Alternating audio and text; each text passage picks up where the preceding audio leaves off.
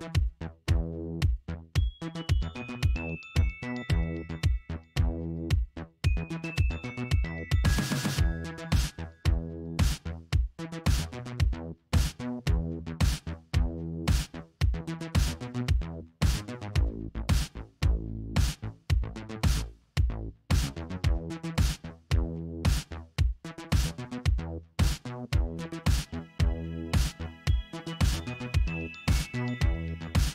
So the meals from this event go to the Missoula Food Bank, and specifically to their uh, their Empower Pack program.